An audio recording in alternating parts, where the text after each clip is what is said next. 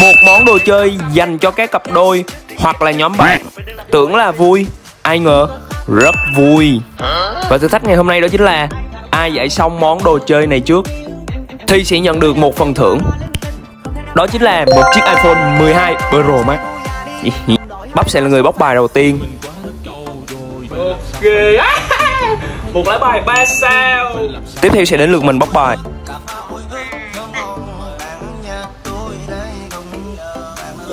một sao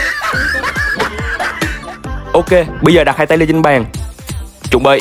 Một hai ba bắt đầu.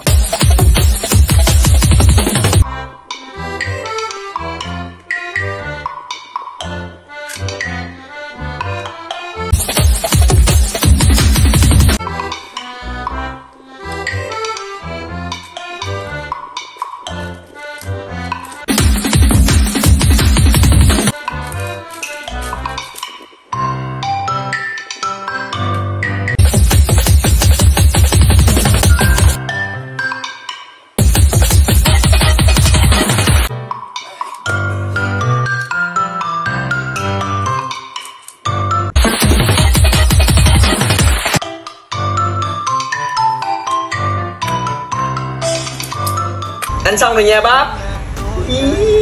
Và bây giờ cái iPhone 12 này là của anh nha. Trời ơi, tuyệt vời. Cảm ơn bác. Lâu rồi mới được đổi điện thoại mới.